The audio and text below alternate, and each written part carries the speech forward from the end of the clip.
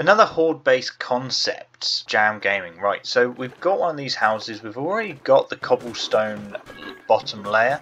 So we're just going to run around and we're going to just upgrade these windows just for a little bit extra protection. Um, we're not going to worry too much about them so far, uh, and I'll show you why.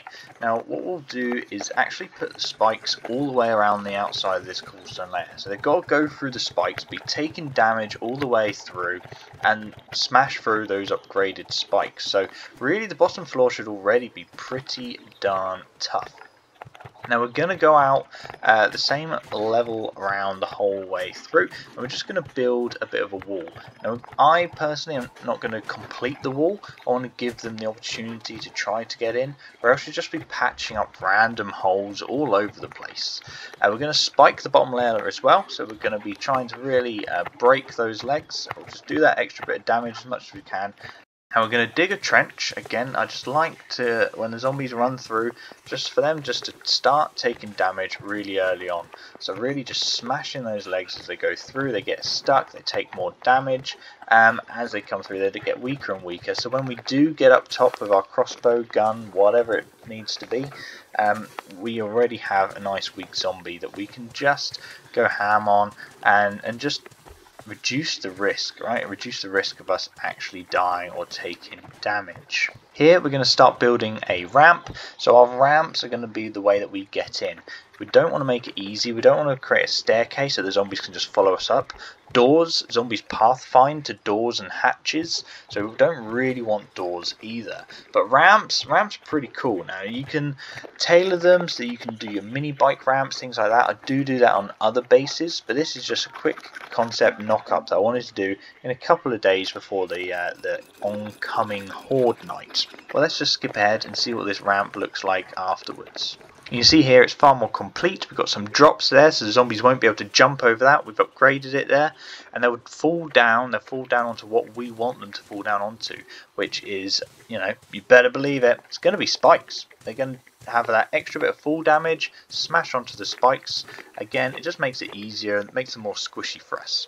Now going back onto the trench, we've still got our trench system. Zombies will be sprinting at night, running straight over these spikes. By the time they get to the second spike, their legs should be broken. Um, and if not, you know, they'll be so close that they'll get smashed by the inner ring. Upgrading a second ramp here. So nice little jump nice and easy for players to do really hard for zombies to do so nice easy jumps. Uh, didn't even know that ladder was there but there you go. It's a nice ladder. It's a fallback position for us to take if the horde does get a little bit too scary. Here we're upgrading the walls. We don't want to go overboard again. They, they should see that there's a wall and take the easiest route. A bit like water they'll just take the easiest route to flow through. And we've left some gaps there because I don't like them just creating their own holes. Um, I like to funnel them where I can. Upgrading all the spikes, it takes a lot of wood. I didn't count how much wood this actually took, but it was a good few thousand pieces of wood, um, which really, if you've got a tree farm, it's, it's not going to be that much. I don't like making my spikes out of iron or metal. Yes, they last longer, um, but they do very similar amounts of damage, and to repair them, it's just more costly. If I can reduce that uptake cost, the upkeep cost rather, uh, that's what I much prefer. Okay, moving on to lighting. So we want to light it all up. I learned from my last base. I should probably do a little base tour actually, but it is quite late on the day for that one. But really, when you're on your night time or your horde night, whatever, and you're trying to shoot the zombies, it's really tricky to see. Um, I haven't done the cheaty thing of just turning my gamma up. There's a little tip for you.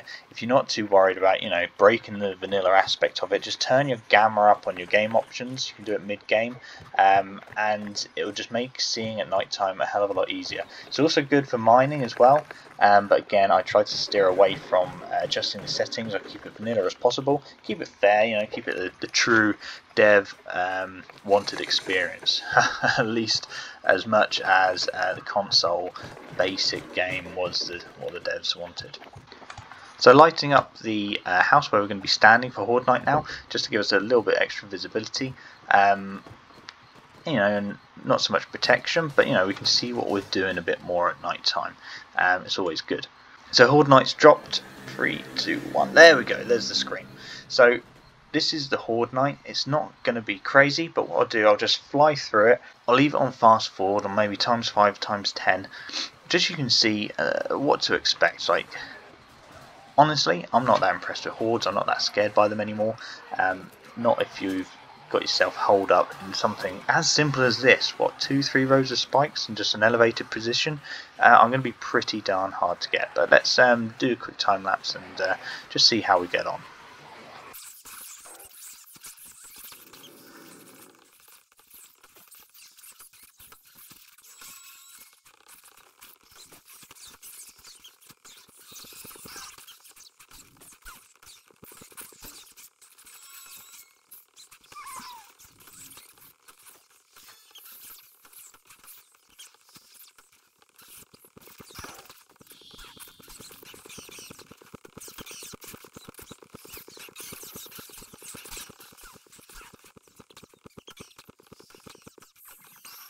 Okay, so it was going well, or it is going well, right up until about this point. So I didn't take into account where the zombie spider things can crawl up. There you go, and he just catches me off guard. And, you know, I didn't look after myself. Look after yourself, take your bandages, take your first aid kits along, because um, I was just taking trap damage from my own spikes throughout the building process, um, and it really uh, bit me, bit me there.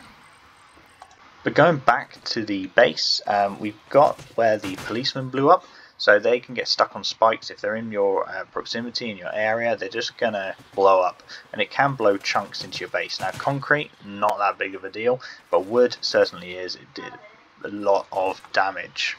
But what we'll do is we'll quickly go around, fly around, repair the damage, fill in the holes, uh, repair the spikes, all that sort of stuff ready for the next horde.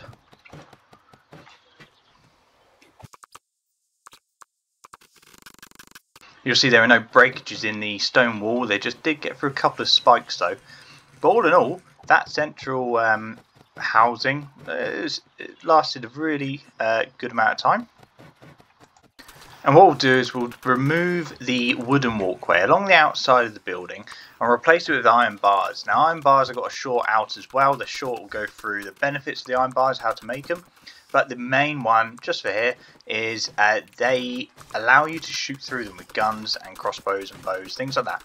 It just won't allow any explosives to go through. But, you know, that, that's good enough for me. I just want to be able to shoot through, give that extra visibility, protect the building a little bit more. Um, let's fly around the whole of the outside and see how long that takes us to do. Okay, so we're into the next night horde and we're about to wrap up this video. But you sort of get it as, as a concept. So there's three uh, rows of spikes. There's a wall with um, partitions in to allow a limited funneled uh, stream of zombies to come through. We've now got the iron bars on the walkway. We've also monkey-proofed this as well. Um, so we've with the iron bars, it stops them climbing up quite as high, and also put wooden poles on uh, off camera just to prevent them from climbing up again. So that's this base as a concept. Uh, not one of the better ones, uh, but it is something that you can knock up relatively quickly. With the wood, it's relatively cheap as well, and the uh, maintenance is quite cheap as well. We've limited the amount of metal being used. Um, but what I'll do, I'll um, I've got some mining biome videos coming out, so stay tuned for those. They'll be out pretty soon, and also some of the um, cheatier, uh, cheesy bases as well, like floating bases um, and that sort of thing. They'll be coming out soon, just keep your eye out. Uh, like, subscribe to the videos, it really helps us out, makes doing this far more worthwhile, um, and we will catch you on the next one.